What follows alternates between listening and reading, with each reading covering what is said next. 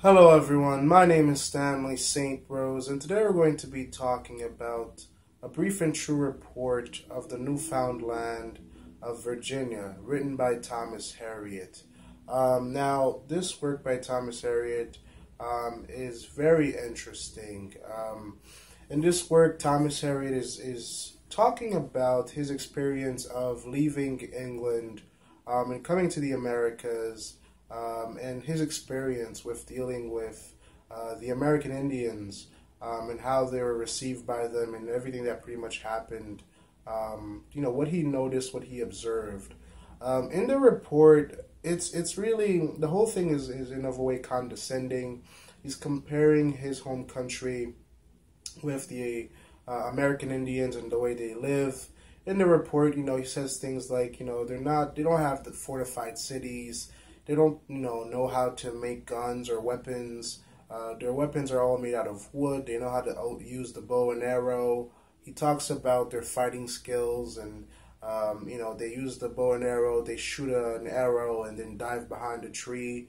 Um, so in this report, this this um, this account of, of what he experienced, it's almost like he's like a secret agent, a person who leaves his home country, comes to this new land, and he's pretty much talking about uh, their fighting style, their living style, and in many ways, you know, if you're a country preparing to attack another country, I feel like it's the same way you would report back to home base about their defenses, their strengths, their weak weaknesses.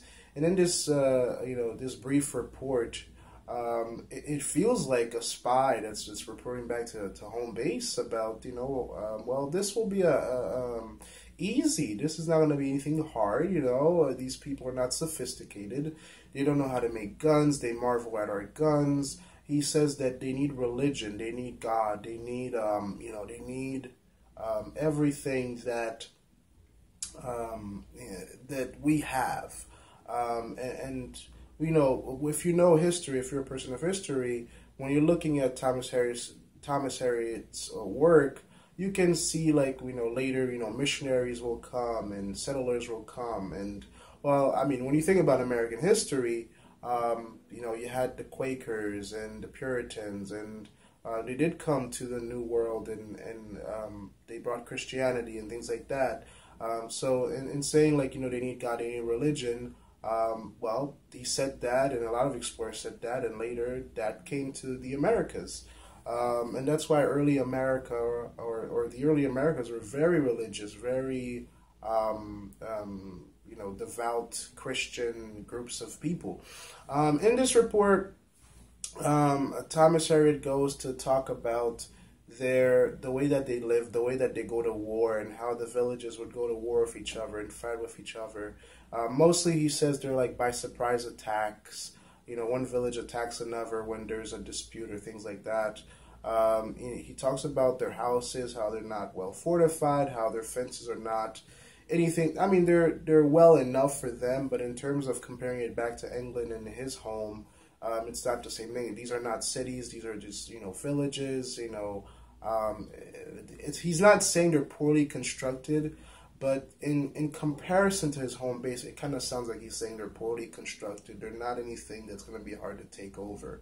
Um, you know, he, he judges their, their fighting style. They don't have a military. They don't, you know, they don't have um, the sophisticated things that we have, kind of. Um, he goes into what the natives or the American Indian thinks about them uh, there's several things that he says that they think about them. Um, he says that the Indians think that they're maybe they have powers or that their god is, is super powerful. Uh, because of course we know that diseases, the, the, the colonizers, the explorers brought a lot of diseases to the Americas. Uh, everywhere that they went and after they, they left, a lot of times the Indians would die of disease and the Indians believed that the the explorers were, were mad at them or their gods were taking revenge because they couldn't understand the diseases, they didn't know how to cure it. Um, their healers and, and medicine doctors didn't know what to do to heal them, you know, their people, the Indians, when they had diseases. And people were just falling dead after these explorers, or Thomas Harriot and his men, and you know other explorers would come to their villages. Um, and so sometimes the Indians would, would ask them to pray for them um, or to to question or to ask their gods to, for help, or you know to ask their God for help. Um, and you know, Thomas Harriot talks about the, the the the beliefs of the Indians and how they worship their own God and, and, and their belief about how the world began. The Indians believe that uh, there was a woman that just conceived, and that's how the human race began. That's what Thomas Harriot says within his work, uh, within this brief report. Um, they believe in, in paradise and a hell, or a heaven and a hell, and, and, of course, um, all ancient uh, uh, cultures um, have some type of belief about a good place and a bad place. You know, of course, the, the good people go to the good place, and the bad people go to the bad place, and, and some version of that and the Indians have their own beliefs with with different um, alterations of people, you know, being resurrected and things like that. Um, and they have their own gods and, and how the Indians believe that in some way, shape, or form that they are um, images of, of the God or, or the, the God. Um, so he goes into religion. Um, quite specifically in, in this brief report, he talks about that. Um, he talks about their living conditions. He talks about the you know the way that they're dressed, their weapons. Um, and in terms of the way that they're dressed, uh, Thomas Harriot says that they pretty much you know wear clothes below the waist, but mostly they go around about naked. Um, um, so he, he paints a picture of them being sophisticated by their own means and being skilled by their own means, but when you compare it, when he compares it to England, it's it's nothing overwhelming. It's nothing sophisticated. Um, it's almost like he's saying these people need, need education, they need help, they need religion. They're they're they think that we're kind of gods. They think that we're powerful. Uh, they think that you know our gods are killing their people because you know they might uh, be angry at them. Um, he says that they're kind of trustworthy and that they they're somewhat obedient. Um, he goes into their customs um, and and and just how um, well the, you know the Indians marvel at them. For example, um, uh, we know that the the a lot of explorers it was just men. You know, it was all mostly men. The ships were filled with men. Um, you know um, most of the time you just had a full a ship filled with men 100% men uh, and they would come across the ocean and a lot of times most of those men in certain ships wouldn't survive, or entire ships would go down and all the men would die. So being an explorer was not an easy job. Your life was on the line most of the time. And and the men who survived when they got here, it was pretty much just men uh, in in the parties that, that were exploring. And the Indians would, would think to themselves, well, where are the women? How do these men reproduce? How do have how do they have children? Um, and and Thomas Harriot, in this brief report, he even says that you know they the Indians were thinking like, uh, well, how come we're not even interested in our women? Maybe they're they're they're they're uh, over women, or maybe they they just I don't know multiply. Um, um, you know, they they they they thought about that because you just have a group of men that look different from you. They don't have women. They're not interested in your women, and they seemed to be just fine. And so the Indians thought maybe these were. Um, Thomas Harriot is, writing this down. He's saying this. Um, and he's saying that, you know, they thought that they had some type of power or some type of knowledge that they, the Indians didn't have. And um, the Indians kind of marveled at this and thought about this. Um, so um, um, Thomas Harriot, uh, um, you know, he writes about this. He writes about um, his dealings with the, the, the natives, um, how they came about, um, and you know their religious belief, their social beliefs, how they existed with one another, um, and ultimately, what I get from this is, um, you know, this whole work in terms of deeper meaning here, in terms of uh, what's going on. I think the whole work. Uh, it is a brief report talking about the people, the land, uh, the richness of the land, the different, um, uh, you know, f- the different types of food and and how prosperous the land is and things like that. He writes about all of that. But in terms of deeper meaning, in terms of analysis here, one thing I would say is that um, this this work is very condescending and it's it's really looking down upon the Indians, and you could see why later um, Puritans and, and religious individuals would come to the to the, the Americas to um, you know, bring about religion and their own beliefs and, and bring settlers to conquer it because these reports from, um, you know, from people like Alvar Nunez, Cabeza de, de Cava, um, um, Alvar Nunez Cabeza de Vaca. Um, that's a very long name, but but from Cabeza de Vaca, that's another explorer, um, and Thomas Harriot, um, individuals like that, and also Christopher Columbus.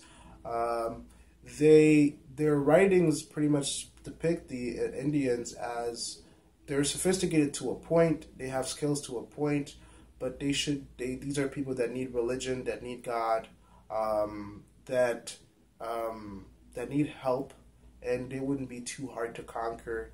Um, and you can see how these writings could influence or encourage more Europeans to come to the Americas uh, and take land and conquer and war for it because they kind of like picture or depict the Indians as um, fragile uh, people that are obedient and think that, well, the Europeans are angelic in some sense. Um, now, I would say that if it wasn't for the diseases um, and, and, and, and the viruses, that the Europeans would probably have not taken over the Americas because, again, there's a long travel um, by ship. Uh, I'm at sea. Uh, a lot of people died, and it was a very rigorous trip. If you make it through, uh, you have to get here, um, and then you would have to fight over. Um, it's estimated like two million Indians died uh, because of viruses and things like that. Uh, and I assume that if there were no viruses, and if that was an, uh, an actuality uh, over uh, European colonization of the Americas, uh, that you probably would have had a different outcome because at some point the Indians might have united and, and fought back, and, and maybe the, the, the Americas would have never become what it is today.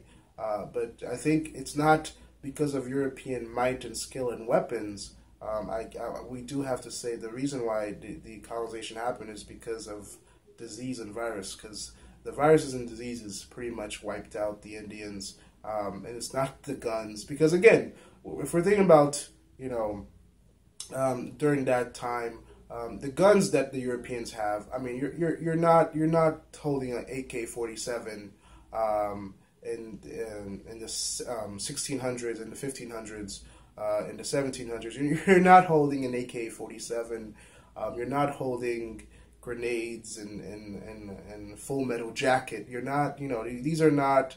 Um, uh, you know, Rambo figures coming from Europe to take over the uh, the land of the Indians. Uh, it's more, you know, um, um, rifles and muskets and, and early, early guns that you know you weren't taking you were taking you know one person out at a time, uh, and the Indians had bow and arrows. Now, yes, guns are better than bows and arrows, but I, I would say that it wouldn't be that easy if there were no diseases and viruses to help out the Europeans.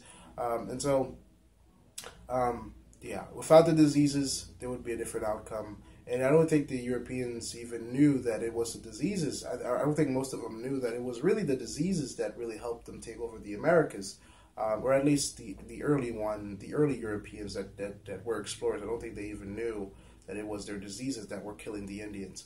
Uh, but but that's what you get from this work. Uh, that uh, there's a lot of um, condescension. Uh, Thomas Harriot saying, you know, uh, these people uh, they're not that sophisticated. They're sophisticated to the point to a point uh, but you know, uh, they they need some religion. Uh, you know, we could probably. He's not saying it out loud, but he's kind of like citing that. Well, we're, we're much better. We're we're, we're much more sophisticated uh, to take over this land, um, and and you know they're kind of simple people. Um, but but that's his writing. Uh, that's his journey to the Americas. Uh, this this this brief report really talks about the land, the people, the, the nature of their their living, their belief systems, uh, and, and ultimately um, um, what he overall thinks about them. Uh, but that's all I had to say about Thomas Harriot in his brief report. Uh, please remember to leave a like, subscribe, and or comment, and I'll see you guys in the next video.